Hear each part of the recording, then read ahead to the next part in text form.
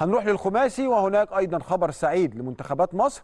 مصر تحظى ذهبية الفرق وفضية الفردي ببطولة العالم لناشئ الخماسي الحديث. وده خبر الحقيقة يسعدنا. زي ما قلنا إن الخماسي كمان آه، برئاسه الاتحاد آه، المهندس شريف العريان آه، محقق الحقيقة يعني طفرة كبيرة جدا في هذه اللعبة.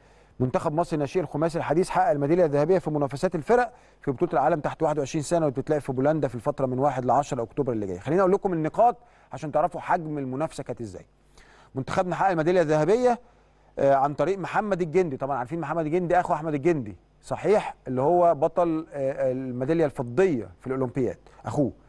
والأخوين معتز وعمر وائل بعد ما احتلوا المركز الأول برصيد 4466 وجه في المركز الثاني فرنسا برصيد 4110 وجه منتخب المجر في المركز الثالث 4148 شايفين المنافسة عاملة إزاي؟ كله فوق ال 4000 انت 4400 نقطة وفرنسا 4100 نقطة. يعني اولموست يعني بقرب لأقرب عدد صحيح.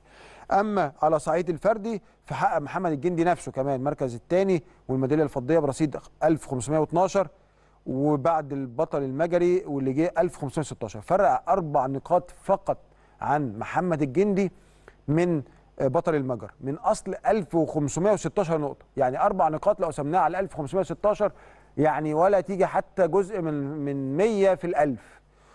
آه، أما صاحب المركز الثالث فكان بطل فرنسا 1504 نقطة. منتخبنا الوطني بيشارك في البطولة دي آه، بقائمة مكونة من محمد الجندي ومعتز وائل وعمر وائل ونور الدين كريم ويوسف اوراني وأميرة انديل وملك إسماعيل وزينة عامر وهانيا أبو بكر.